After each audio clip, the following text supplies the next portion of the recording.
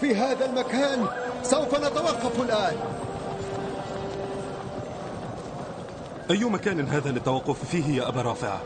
هل ألقيت نظرة من حولك؟ يا ابن عباس وهل أمر التوقف كان مني أنا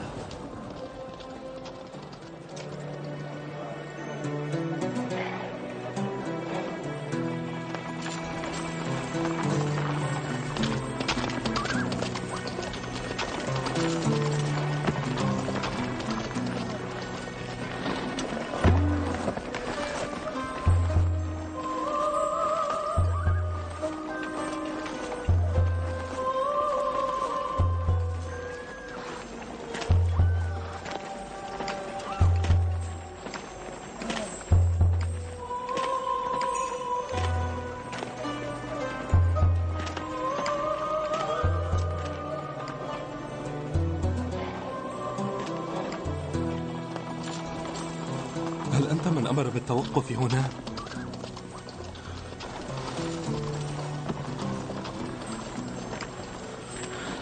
المكان هنا ليس مناسبا. كان من الأنسب لنا أن نذهب في منتصف النهار. فجواسيس معاوية ينتشرون في كل مكان. مناصرون قلائل لكنهم ثابتون. هناك ألف شخص هنا يسيرون في ركابنا. وهم الآن بانتظارهم ألف شخص؟ ألف شخص لا أكثر ولا أقل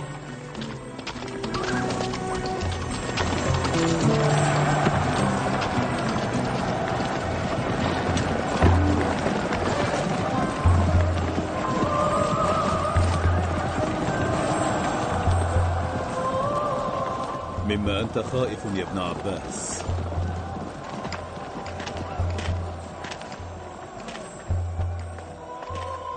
أسمعت ما قاله للتو؟ قال مناصرون قلائل لكنهم ثابتون لا يا مالك قال كلاما آخر سمعته قال إن ألف رجل سوف يلتحقون بعسكرنا هنا ألديك شك في هذا؟ هل فكرت قليلا في هذا الكلام؟ أنا قلق يا مالك. ومما قلقك يا ابن عباس. ها؟ قبائل هؤلاء هم من أنصار أمير المؤمنين.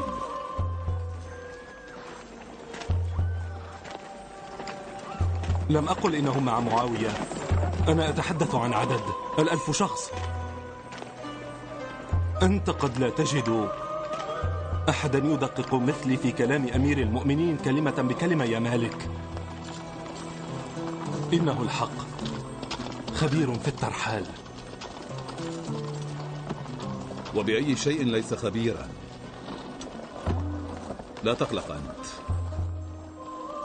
إن لم يصل عددهم إلى الألف شخص فلن يأتوا أقل من ذلك. ألم تسمع حين قال ألف شخص؟ لا أكثر ولا أقل.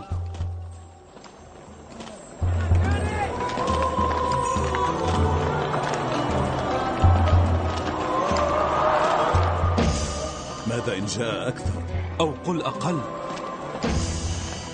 هل تعلم يا مالك أنه قد يصبح ذلك مأخذا بيد منافقي الكوفة؟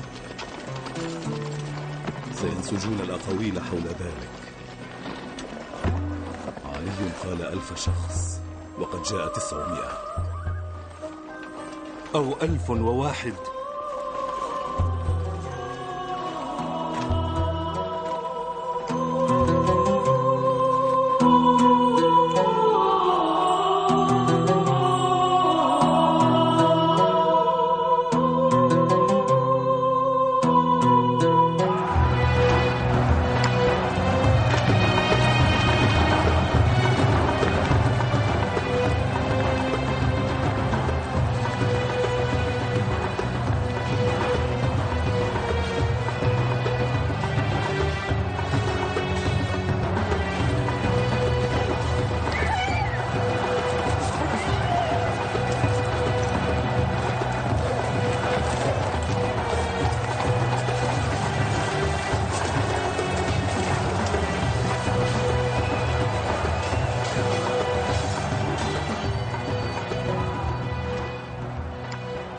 أخبرني كم عددت منهم يا مالك؟ ثمانمائة. بالضبط. وأنا أيضا أحصيت حتى العدد 800 أرجو الله أن يكون العدد القادم في الطريق. هو 200 بالتحديد. لا أكثر ولا أقل.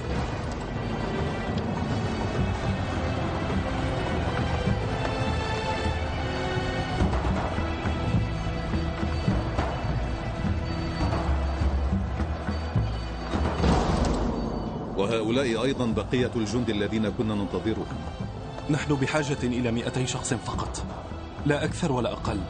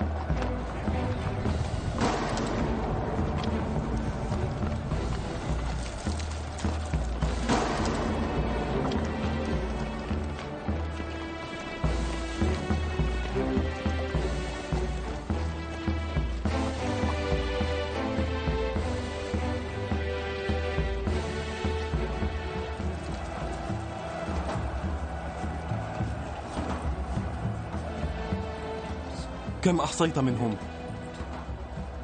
199 199 وأنا كذلك. ألم أقل وويلاه ماذا لو أن آخرين غيري أنا وأنت من أفراد القبائل كانوا يحصون العدد؟ أرأيت أن العدد لم يكتمل؟ ربما أنك أخطأت. ولم الخطأ يا مالك؟ فأنا وأنت يجب ألا نخدع أنفسنا. فقد قال أمير المؤمنين ألف شخص ونحن قد أحصينا فقط 999 شخصا. إن إيماني بأمير المؤمنين علي ليس ذاك الإيمان الذي قد يهتز عند أدنى خطأ. فقد رأيت من عجائبه ما نعجز عن إحصائه أنا وأنت إلى يوم القيامة. وأنا مثلك تماما يا مالك. مع فارق أن ذكائي يحدثني بوجوب ألا تغفل عن المنافقين والمتقاعسين أبدا.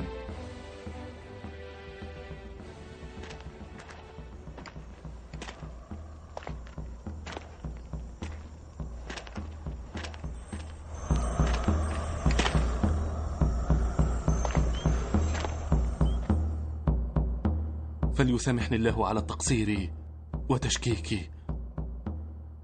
قلت إن كلامي قد لا يكون دقيقا. المنافقون كثر من حولنا كما تعرف. خفت استغلالهم هذا فيجلسون للتداول فيه. انظر إلى هناك يا ابن عباس إلى المحب الصالح القادم من المجهول. أنا في انتظاره. وبوصوله يصبح تعدادكم مكتملا.